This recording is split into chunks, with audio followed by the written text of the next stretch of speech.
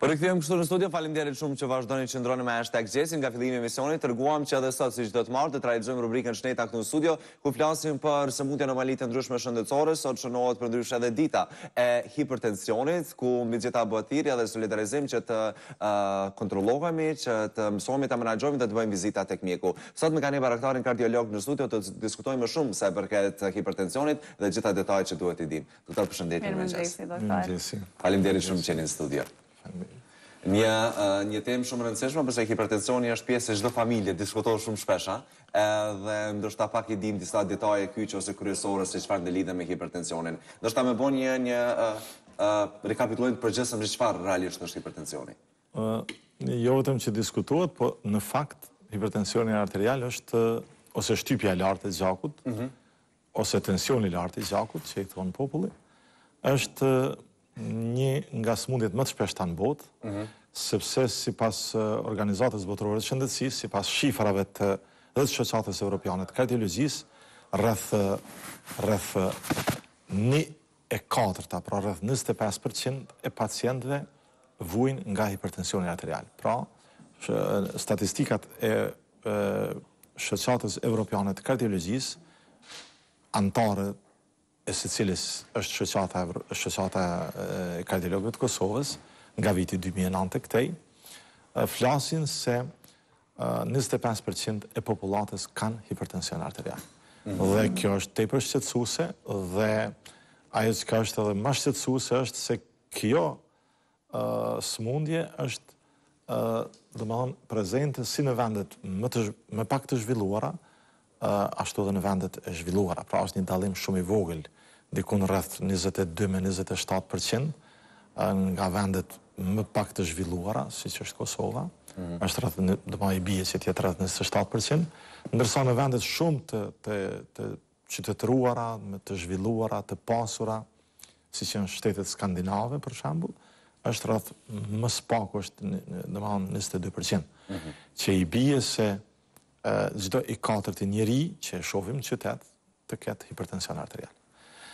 Dhe e keqja tjetër është se e kësaj smundje është se rreth një e katërta tash e të smurve që pësojnë infarkt akut të miokardit, ose sulm në zemër, ose pike në zemër, i atribuohen Pikërisht hipertensionit arterial. Pra, hipertensioni arterial përveç që është më i shpeshti nga të gjitha sëmundjet, është edhe shkaktari më i shpeshtë i i infarktit akut po, miokardit. Ndryshe njihet si vrasës i fshetë, vrasës i silent killer, kështu.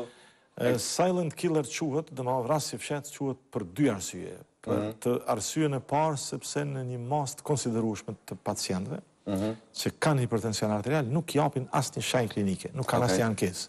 Domethënë të sëmurët janë normal, jetojnë normal dhe nuk e dinë që me vite kanë hipertension arterial. Dhe e, e dyta është sepse ato domethënë ndryshimet që bën kjo sëmundje, ky vrasës i heshtur, janë në të gjitha organet tona dhe janë të ngadalshme, prandaj është i heshtur ngadalë, domethënë kjo nuk e bën efektin e përnjëhershëm, përveç rasteve të krizave hipertenzive, që mbase do t'i diskutojmë më vonë, ë në raste të tjera, domethënë dëmtimet i bën për vite të tëra, nuk i bën për një herë, prandaj është quajtur si vrasës i heshtur.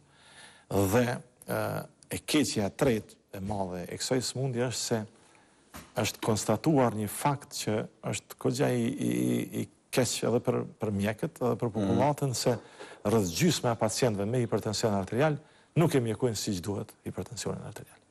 Ka mosha të caktuara të cilat ndoshta i prek më shumë hipertensioni apo nuk kursen?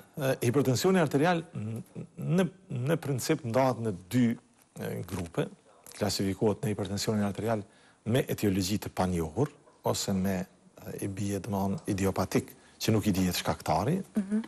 që janë rreth 90% të të smurve. Pra 90% të të smurve që kanë shtypje të lartë të gjakut, nuk dihet kush është shkaktar. Shumica e pacientëve, ose të gjithë pacientët, pa përjashtim në Kosovë, që ne i kemi, pytjen e parë që neve na e bëjnë është se pse M'u ka shkaktu hipertensionin. Në fakt, në nëntëdhjetë për qind të rasteve nuk dihet shkaktari i hipertensionit arterial. Gjenetika a lun rol, doktor? Lun rol edhe gjenetika, por lun rol edhe faktor të tjerë, siç janë, domethënë, mbi pesha,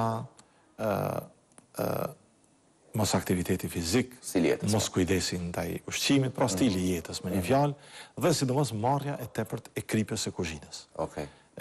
Domthon njeriu pa kripë të kuzhinës nuk mund të jetojë, njeriu duhet të hajë kripë, prandaj në krejt botën, por është konstatu se rreth nëntëdhjetë për qind të njerëzve në botë marrin kripë shumë më shumë shumëfish më shumë se nevoja ditore. Pra po. nevoja ditore për krip të kuzhinës janë jashtëzakonisht vogla dhe ata marrin shumë.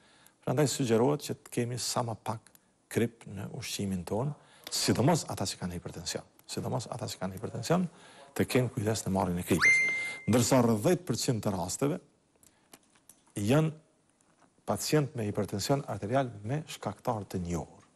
Ky quhet hipertension arterial sekondar. Pra, vetëm dhjetë për qind ju dihet shkaktarëve. Kjo janë shkaktarët ata të cilët i desha të përmendet ndërlidhen me moshën.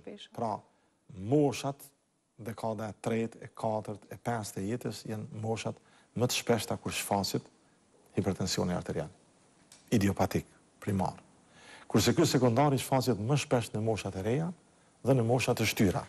Domethënë në qoftë se kemi një pacient të ri, në moshë të re, ne gjithmonë njëzet vjeçar, njëzet e pesë vjeçar etj, ne gjithmonë domethënë interesohemi që të gjejmë një shkaktar, sepse mund të jenë kryesisht sëmundjet e veshkave, Sëmundjet e veshkave, sëmundjet e e hormoneve, çrregullimet hormonale, siç janë hipertireoza e sëmundje tjera të të endokrine, prodhimet, çrregullimet hormonale, ndërsa te moshat e shtyra, po ashtu në qoftë se ne kemi përpara një pacient shtatëdhjetë vjeç ose shtatëdhjetë e pesë vjeç ose tetëdhjetë vjeç, i cili asnjëherë nuk ka pas hipertension arterial dhe i shfaset për herë të parë hipertensioni arterial, atëherë ne domethënë interesohemi që të gjejmë shkaktarin. Dhe zakonisht ata kanë një shkaktar, kanë hipertension sekondar, sidomos janë smundjet e veshkave. Prandaj, trajtimi, diagnostifikimi, depistimi, screeningu, për hipertension arterial, domethënë nuk ju takon vetëm kardiologve, që jam unë, Por iu takon mjekëve të përgjithshëm në radhë të parë, mjekëve familjarë, pastaj internistëve, pastaj sidomos nefrologëve, që merren me veshkat, dhe kardiologëve, natyrisht kardiologët kanë një përgjegjësi më të madhe sepse shumicën e pacientëve me hipertension arterial janë në lëminë e sëmundjeve kardiovaskulare që i takojnë kardiologut, por të gjithë këta së bashku duhet të monitorojnë hipertensionin arterial në mënyrë që ta zbulojmë dhe ta mjekojmë dhe të gjejmë shkaktarin dhe sidomos ata që janë të lidhur me sëmundjet e veshkave të jenë në në një bashkëpunim të mirë me me nefrologët në mënyrë që të mos lejojmë dëmtimin e mëtutjeshëm të veshkave, sepse domethënë është një korrelacion i dyanshëm ndërmjet sëmundjeve të veshkave dhe hipertensionit arterial, sepse hipertensioni arterial mund të shkaktojë sëmundje të veshkave, por edhe sëmundjet e veshkave mund të shkaktojnë hipertension arterial. Anasjelltas, po. Anasjelltas. Kjo ishte në pika të shkurtëra rreth, domethënë, asaj se kush e shkakton, cilat janë moshat e përfshira. Është konstatu se nuk ka naj dallim shumë sinjifikant ndërmjet meshkujve dhe femrave. Te meshkujt është pak më i shpeshtë hipertensioni arterial, por nuk është diçka shumë sinjifikante. Më duket është diku 22 me 27 për qind, domethënë një dallim i vogël. Dallim i vogël, domethënë meshkujt kanë 27 për qind kurse këta 22 për qind, por në total është 25 për qind. Sipas statistikave, gjithnjë sipas statistikave, por por në këtë në këtë statistikat nuk janë gjithmonë tregues i saktë sepse ka regjione, ka shtete, ka popullata që kanë një përqindje jashtëzakonisht më të lartë. Unë besoj që Kosova, ne nuk kemi ba naj studim me ditë, po duhet të ketë pak më shumë hipertension, sepse në bazë të percepcionit të pacientëve që neve na vijnë për ditë, domethënë ne shohim se pothuajse në çdo familje ne kemi pacientë me hipertension arterial. Po. Kështu që unë unë mendoj që domethënë duhet të jenë shifra pak më të larta, mbase edhe çrregullimit të e ambientimit pas ndryshimeve të mëdha që kanë ndodh në Kosovë në njëzet vitet e fundit, ose edhe nga mungesa paksa e arsimimit shëndetësor, sepse te ne kam përshtypjen që lexohet më së paku për shëndetin, vjen deri te kjo që të kemi një numër të madh të pacientëve, dhe mbase në Kosovë e kemi numër më të madh të pacientëve statistikisht me me me hipertension arterial. E nëse veç ndalemi tek trajtimi dhe tek menaxhimi i hipertensionit është vështirë, është e rëndë terapia ose duhet ndryshuar stili i jetesës apo çfarë duhet të kemi ndoshta parasysh nëse veç diagnostifikohemi? Është interesant, domethënë që është interesant, pyetje shumë interesante dhe dhe dhe me të thënë të vërtetën edhe edhe të dhënat janë shumë interesante sepse është një sëmundje që më së lehti diagnostifikohet, pra e diagnostifikon edhe një si të them edhe edhe nji joprofesionist shëndetësor sepse matja e tensionit arterial edhe me me kushte shtëpie me domethënë tensiometrat klasik mm -hmm. po edhe me këta elektronik është një metodë që e bën çdo infermier edhe një një i arsimuar Pra e kemi një një qasje shumë të lehtë diagnostike, pastaj kemi aq shumë sot barna që mjekojnë hipertensionin arterial saqë do të duhej që suksesi i trajtimit të hipertensionit arterial të jetë njëqind për qind, se s'kemi asnjë dilemë që nuk trajtohet ai, nuk ka pacient që nuk nuk mund ta trajtojmë hipertensionin arterial. Nga ana tjetër statistikat sidomos ato anketat që janë ba te te pacientët, shohim se gjysma nuk e trajtojnë si duhet. Pse nuk e trajtojnë si duhet? Shumica nuk e dinë që e kanë, shumë nga ata nuk e dinë që e kanë, pastaj disa që dinë që e kanë nuk ju përmbahen këshillave të mjekut, nuk i përmbahen ndryshimit të stilit të jetës, që është jashtëzakonisht i domosdoshëm për për ta menaxhuar hipertensionin arterial, nuk i marrin barnat me rregull, harrojnë t'i marrin barnat, pastaj nuk i marrin në kohë të caktuar, sepse zakonisht antihipertenzive duhet të miren për shkak të gjysmë jetës së zbërthimit, për shkak të kohës që ata rrinë në gjakun në gjakun tonë, ato duhet të marrin, duhet të miren në në orë të caktuar, për shembull, nëse merr në orën 8, atëherë duhet të miret çdo ditë në orën 8.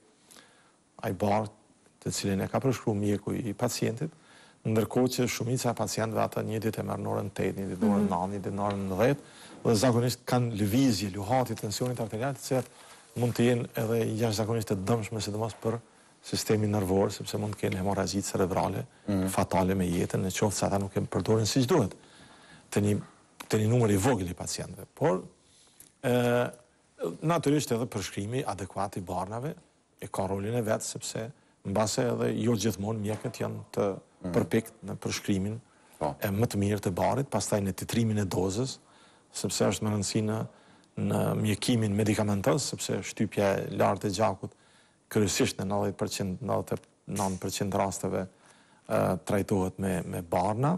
Po. E kur jemi kur jemi tek barnat, zakonisht dimë që familjarët i japin familjarit tjetër terapinë e vet ose bëjnë sugjerime pa shkuar tek mjeku profesional për të marrë terapinë e duhur. Ka dallim në terapi hipertensioni nga hipertensioni? Po si, po si domethënë ka shumë dallim dhe domethënë për të mos thënë është fatale, Një dukuri e tillë është mund të jetë fatale për mhm. për pacientin dhe është një dukuri që në në vende të zhvilluara, domethënë në vende të industrializuara, të përparuara nuk ndodh. Po, po nuk ndodh, madje edhe nuk mund të ndodhë dhe po deshi sepse farmacitë në vende të zhvilluara antihipertensivet nuk japin pa recetë. Dhe domethënë është është skandal si të themi që ti me marr prej hallës tande ose tezës ose një një bari që asaj i ka bë mirë. Dhe kjo është domethënë është si shënohet kjo ditë tek ne.